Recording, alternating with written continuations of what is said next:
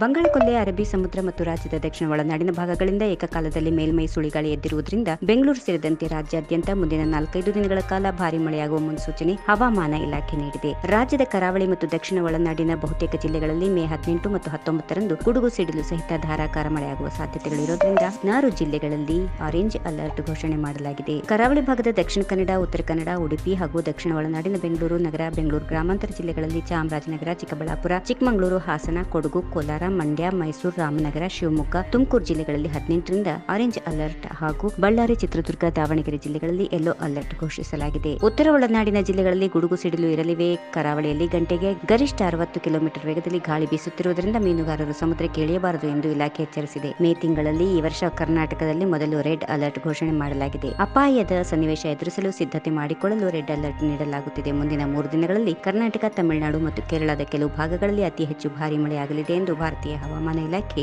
ಮುನ್ಸೂಚನೆ ನೀಡಿದೆ. ಕರ್ನಾಟಕದ ಒಳಭಾಗದಲ್ಲಿ ಸಾಕಷ್ಟು ವ್ಯಾಪಕವಾದ ಮಳೆಯಾಗಲಿದೆ. ಹಾಗೆ ಗುಡುಗು, ಮಿಂಚು ಮತ್ತು ಬಿರುಗಾಳಿ ಸಹಿತ ಭಾರಿ ಪ್ರಮಾಣದಲ್ಲಿ ಮಳೆ ಬೀಳುವ ಸಾಧ್ಯತೆಗಳಿವೆ. ಚಿಕ್ಕಮಗಳೂರು, ಶಿವಮೊಗ್ಗ, ಕೊಡಗು, ಹಾಸನ, ಬೆಂಗಳೂರು ಬೆಂಗಳೂರು ಗ್ರಾಮಾಂತರ, ಕೋಲಾರ, ಚಿಕ್ಕಬಳ್ಳಾಪುರ, ತುಮಕೂರು, ರಾಮನಗರ, ಮಂಡ್ಯ, ಮೈಸೂರು, ಚಾಮರಾಜನಗರ, ದಾವಣಗೆರೆ ಮತ್ತು ಬಳ್ಳಾರಿಯಲ್ಲಿ ಆರೆಂಜ್ ಅಲರ್ಟ್ ಘೋಷಣೆ ಮಾಡಲಾಗಿದೆ. ಬೀದರ್, ಕಲಬುರಗಿ, ಯಾದಗಿರಿ, ವಿಜಯಪುರ, ರಾಯಚೂರು, ಕೊಪ್ಪಳ, ಗದಗ, ಹಾವೇರಿ, ಧಾರವಾಡ ಮತ್ತು ಬೆಳಗಾವಿಯಲ್ಲಿ ಮೇ ಹದಿನೆಂಟು ಹಾಗೂ ಹತ್ತೊಂಬತ್ತರಂದು ಯೆಲ್ಲೋ ಅಲರ್ಟ್ ಘೋಷಣೆ ಮಾಡಲಾಗಿದೆ. ಮೀನುಗಾರರು ಸಮುದ್ರಕ್ಕೆ ಇಳಿದಂತೆ ಎಚ್ಚರಿಕೆ ನೀಡಲಾಗಿದೆ. ಅಷ್ಟೇ ಅಲ್ಲದೆ ದಕ್ಷಿಣ ರಾಜ್ಯದ ಕರಾವಳಿ ಹಾಗೂ ಗುಡ್ಡಗಾಡು ಪ್ರದೇಶಗಳಲ್ಲಿ ಪ್ರವಾಹದ ಎಚ್ಚರಿಕೆ ನೀಡಲಾಗಿದ್ದು, ಕೊಟ್ಟಾಯಂನಲ್ಲಿ ಭಾರಿ ಮಳೆಯಿಂದಾಗಿ ಜನರ ಜೀವನ ಅಸ್ತವ್ಯಸ್ತಗೊಂಡಿದೆ. ನದಿಗಳು ಉಕ್ಕಿ ಹರಿದಿದ್ದು ವಿದ್ಯುತ್ ಕಂಬಗಳು ಧರೆಗೆ ಉರುಳಿವೆ. If you like this video ಬೇಗ ಲೈಕ್ ಮಾಡಿ ಕಾಮೆಂಟ್ ಮಾಡಿ ಶೇರ್ ಮಾಡಿ ಹಾಗೂ ಯೋಯೋ ಟಿವಿ ಕನ್ನಡವನ್ನು ಸಬ್ಸ್ಕ್ರೈಬ್ ಮಾಡಿ.